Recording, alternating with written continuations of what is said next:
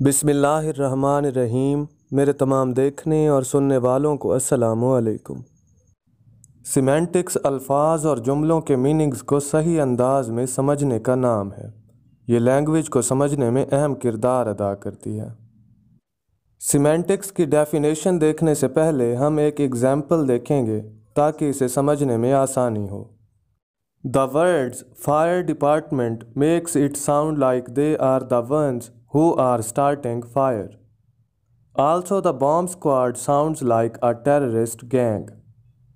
जब हम एक वर्ड सुनते हैं फायर डिपार्टमेंट तो अचानक से हमारे जहन में आग बुझाने वाला डिपार्टमेंट मूव करने लगता है क्योंकि हम इसके बारे में पहले सुन चुके हैं लेकिन अगर ये वर्ड किसी और के सामने बोला जाए जिसने पहले कभी इस वर्ड को ना सुना हो तो वो शायद इसे आग लगाने वाले डिपार्टमेंट के नाम से समझेगा बिल्कुल इसी तरह अगर बॉम्ब स्क्वाड को देखा जाए तो ऐसे लगता है जैसे कोई बॉम्ब ब्लास्ट करने वाला स्क्वाड हो या फिर कोई टेररिस्ट गैंग हो।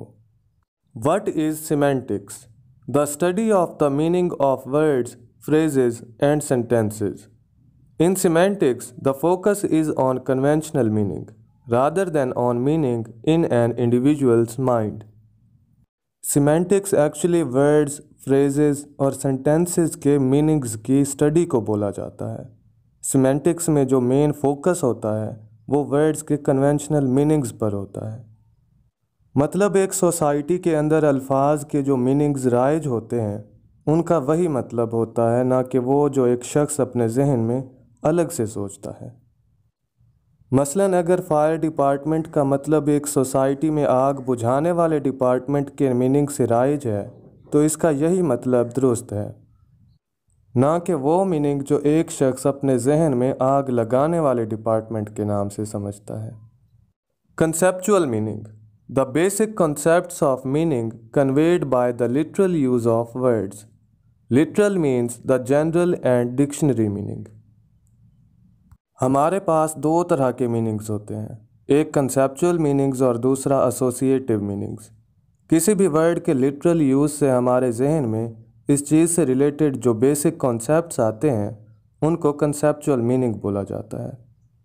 Basic components of a word like needle would be thin sharp steel instrument these components would be the conceptual meaning for needle for example हम एक वर्ड बोलते हैं नीडल इसे बोलते ही हमारे जहन में शार्प थिन स्टील इंस्ट्रूमेंट आने लग जाता है।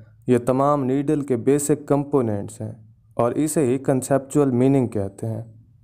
Associative meaning a person may think of needle as concept like pain illness drugs knitting blood people may have different associations to a particular word इसके बाद आता है एसोसिएटिव मीनिंग एसोसिएट का मतलब होता है किसी चीज़ के साथ जोड़ देना या फिर किसी चीज़ के साथ ताल्लुक़ कायम कर देना। जब किसी शख्स के सामने कोई वर्ड बोला जाए, जैसे कि नीडल तो वो इसे अपने एक्सपीरियंस के मुताबिक मुख्तलिफ़ चीज़ों से एसोसिएट कर सकता है। जैसे कि पेन ब्लड ड्रग्स या फिर इलनेस मुख्तलिफ़ लोग एक ही वर्ड को मुख्तलिफ़ चीज़ों से एसोसिएट कर सकते हैं, और ये उनके मुख्तलिफ़ एक्सपीरियंस के ऊपर डिपेंड करता है।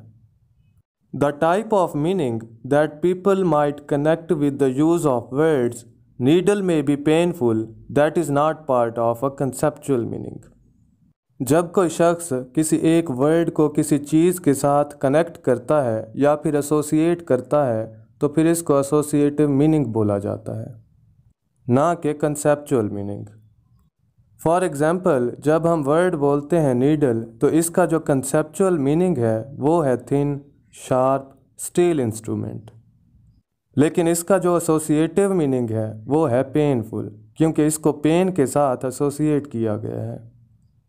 Poets writers advertisers may use conceptual or associative meanings Surf is associated to all detergents nurse is mostly associated with women मुख्तलिफ़ पोइट्स राइटर्स और एडवर्टाइज़र्स जो होते हैं, वो मुख्तलिफ़ तरह के मीनिंग्स लेते हैं। वो कंसेप्चुअल भी हो सकते हैं और एसोसिएटिव भी। मिसाल के तौर पर, सर्फ जो है, उसको तमाम डिटर्जेंट्स के साथ एसोसिएट किया जाता है, क्योंकि पाकिस्तान में सबसे पहले जो मशहूर होने वाला डिटर्जेंट था, वो सर्फ एक्सल था। इसलिए लोगों ने तमाम डिटर्जेंट्स को सर्फ बुलाना स्टार्ट कर दिया। नर्स जो है, उसको मोस्टली वोमेन के साथ एसोसिएट किया जाता है, लेकिन नर्स वोमेन भी हो सकती है, और वो मैन भी हो सकता है। तो नाजरीन, ये थी हमारी आज की वीडियो। अगर पसंद आई हो तो लाइक करें और हमारे चैनल को सब्सक्राइब करें ताकि हमारी हौसला अफजाई हो। हमारी नेक्स्ट आने वाली वीडियोस तक अल्लाह निगेबान।